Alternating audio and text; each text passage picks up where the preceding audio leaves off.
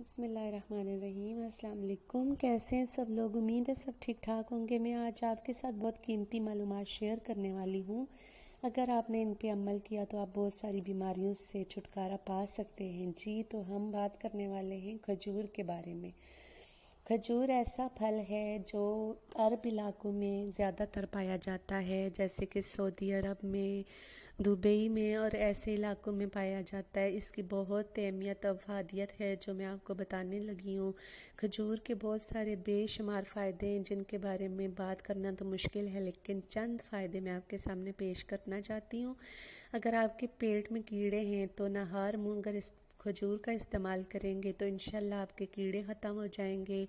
खजूर के मुसलसल इस्तेमाल से खून में जो पैदा होने वाली बीमारियाँ हैं, उनसे छुटकारा हासिल किया जा सकता है।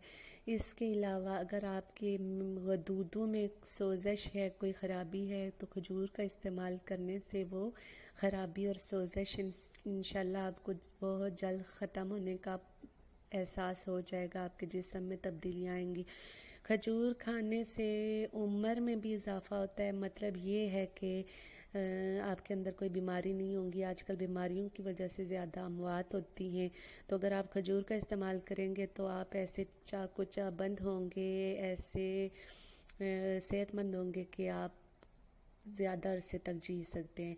और खजूर खाने से आपके अंदर ऐसी तब्दीलियाँ आती हैं कि जो बयान करना बहुत आसान है लेकिन आ, मैं बोलूँगी ये बहुत आसान सी बात है लेकिन आपको अंदाज़ा नहीं हो सकता जब तक आप ये इस्तेमाल नहीं करेंगे इसके बहुत फ़ायदे हैं। खजूर कमज़ोर हड्डियों के लिए बहुत बेहतरीन चीज़ है। अगर आपके अंदर कम, आपकी हड्डियाँ कमज़ोर हैं, आपको बैठते उठते, आपके कड़ाके निकलते हैं हड्डियों से तो आप खजूर का इस्तेमाल करें। यह तकलीफ़ आपकी दूर हो जाएगी, खून की कमी अगर आपके अंदर है तो बजाय इसके कि आप खून लगवाएँ, बाज़ार से महँगे महँगे सिरप लेके पिए तो उससे बेहतर है कि आप खजूर का इस्तेमाल करें। इससे आपकी रंगत में नखार आता है, आपकी रंगत सुर्खी मायल हो जाएगी और आपके अंदर खून की कमी दूर हो जाएगी।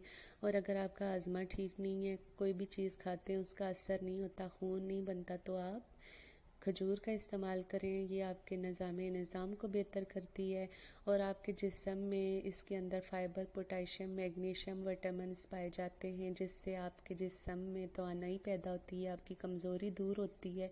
मैं ये सारी बातें अपने पास से नहीं बता रही, बल्कि ये खजूर के बारे में तिब्बी माहरीन ने तहकीक की है और बहुत बड़े काम के बाद जो मालूम हमारे सामने आती हैं, वो, मैं वो आपके सामने रख रही हूँ। और इसके अलावा खजूर अमराज कल्ब के लिए बहुत बेहतरीन चीज़ है, इससे आपके, को दिल के दौरे की जो वजूहत होती हैं, इसके इस्तेमाल से उनमें आप कमी ला सकते हैं, ऐसी कोई बीमारी आपके अंदर नहीं आएगी जो दिल के दौरे का बायस बने। और अब हम बात करेंगे अजवा खजूरों के बारे में। अजवा खजूर अजवा खजूर कैसे बनी? मैं ये आपको बताऊँ, अजवा खजूर की बहुत हदीस में अहमियत है। इसके अंदर बहुत ज़्यादा फ़ायदे हैं, बहुत विटामिन इसमें पाए जाते हैं। एक बार हज़रत बलार रज़ी अल्लाह तह एक बाग से खजूरें चुन रहे थे, उनकी खजूरें नरम भी नहीं थी, उनमें कोई जायका भी नहीं था, उनका रंग गहरा था और उनका दाना बहुत छोटा सा था उस खजूर का। तो लोग आके आपका मज़ाक उड़ाने लगे कि तुम जैसे खुद काले हो, ऐसी काली और खुश खजूरें तुम लाए हो। तुमसे कौन खजूरें लेगा? उनका दिल बहुत दुख किया और आप बैठ के रोने लगे। इतने में नबी पाक वसल्लम का वहाँ से गुजर हुआ।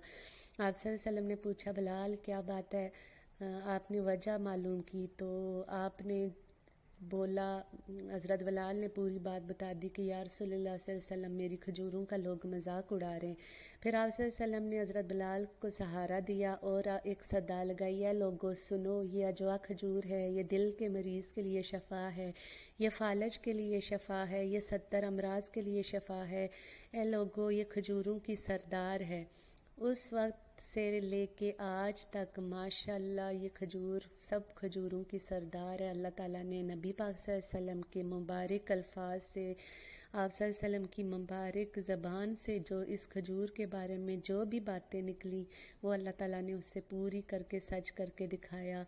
और उसके अंदर बहुत सारे फ़ायदे हैं। और फिर रावी कहता है, जो ये, जिसने ये हदीस बयान की है कि जब नबी पास सल्लम की ज़बान मुबारक से ये अल्फाज निकले तो लोग हज़रत बलाल के पीछे ऐसे भागना शुरू हो गए कि सब लोग ये कोशिश कर रहे थे कि ये खजूर हमें मिल जाए, हम ले लें।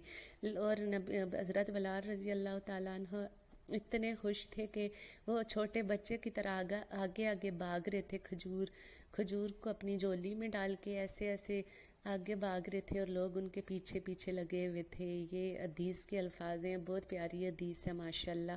तो जो बात नबी पासम की मुबारक ज़बान से निकली हो, उसमें कोई शक नहीं है। और अगर आपको कोई बीमारी है तो आप जो तिब नबवी में चीज़ें बताई गई हैं, जैसे कि जैतून के तेल की बहुत अहमियत बताई गई है, खजूर की बताई गई है, शहद की बताई गई है कुरान में है कि शायद इंसानों के लिए शफा है। और जो बात नबी पाक की मुबारक ज़बान से निकली और जो पैगाम अल्लाह ताला ने कुरान में दिया, उससे बढ़ के शफा किसी भी चीज़ में नहीं है। आप उन चीज़ों का इस्तेमाल करें। उम्मीद है आपको वीडियो अच्छी लगी होगी। नेक्स्ट वीडियो तक